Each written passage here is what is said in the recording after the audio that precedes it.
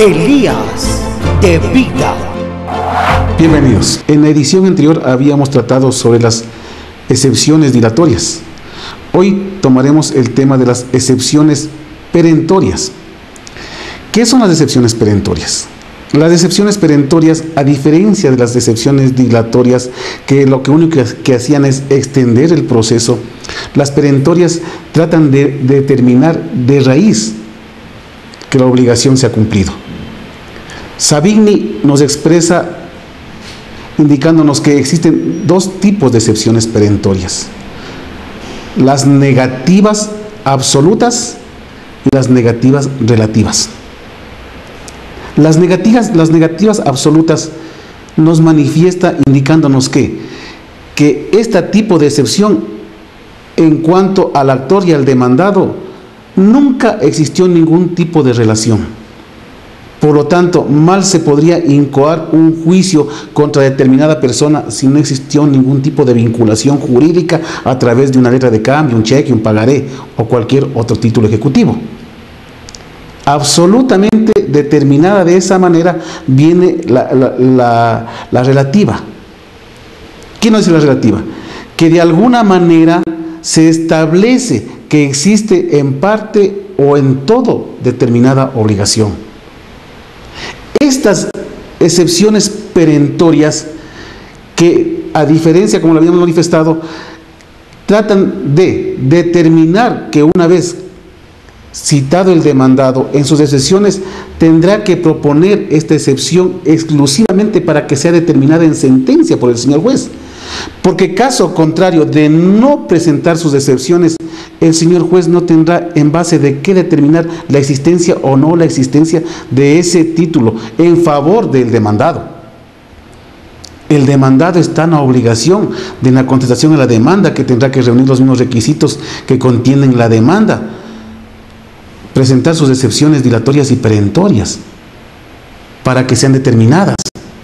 Estas excepciones perentorias tienen que demostrar al señor juez de que existen determinados documentos que van a aclarar, indicándole que tal o cual título ejecutivo no tiene ningún efecto jurídico. ¿Por qué? Porque esta se extinguió, esta se, se, le, se le canceló o en parte o en todo. Viene a constituirse de alguna manera en un modo de extinguir una obligación. ¿Por qué? Porque si bien es cierto el hecho de que existe una obligación, también existe la excepción, que es la de dar por terminada dicha obligación. Esta, exclusivamente estas medidas eh, tanto dilatorias como perentorias, se tratan en el juicio ejecutivo. Esta medida perentoria tiene que, no, trata de, determinar de que vamos a extender el juicio, vamos a hacerlo más extenso de alguna manera, tratando de que el señor juez de, mm, desvirtuar quizá de alguna manera su actitud. No, señor juez, al señor X yo no le debo un centavo.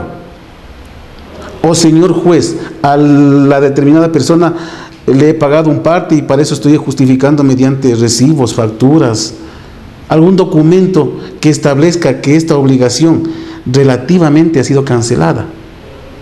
Porque en muchos de los casos existen, eh, en hablar de las letras de cambio, una letra de cambio determinada por, por 10 mil dólares. Pero a estos 10 mil dólares quizá el demandado hizo algún tipo de abono hizo algún, alguna forma, buscó una forma de pago para terminar con esta obligación.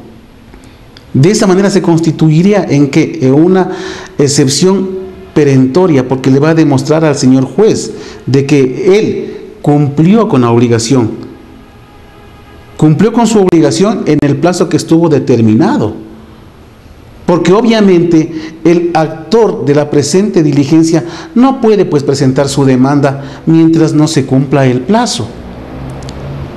¿Por qué? Porque vendría a constituirse en esta medida perentoria, señor juez. El señor me está demandando, pero para que se cumpla el plazo todavía falta un mes, dos meses, tres meses, cuatro meses.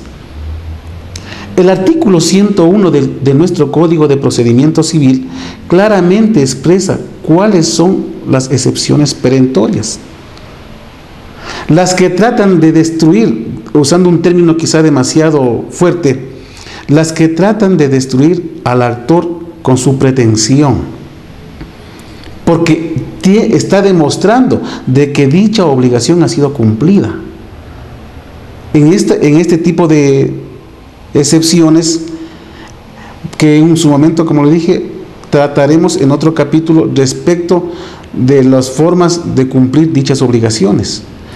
Porque así como son exigibles, también estas obligaciones se extinguen en, un momento determinado, una de esas que para adelantarnos un poco al tema, una de esas es la innovación o el pago, la prescripción de la obligación. Todo ese tipo de acciones que, le quedan al demandado para demostrar al señor juez de que no existe tal obligación. El señor juez está en la obligación, valga la redundancia, de determinar la existencia o no de esa obligación. Es necesario entonces que continuemos con el proceso ejecutivo hasta la obtención de sentencia. Hasta la próxima. Elías de Vida.